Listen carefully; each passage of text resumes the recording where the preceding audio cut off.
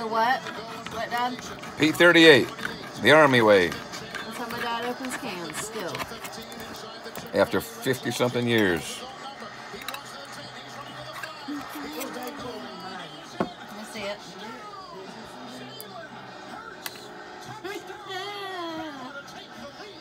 Thank you. It's got a hole in it to wear on your dog tags.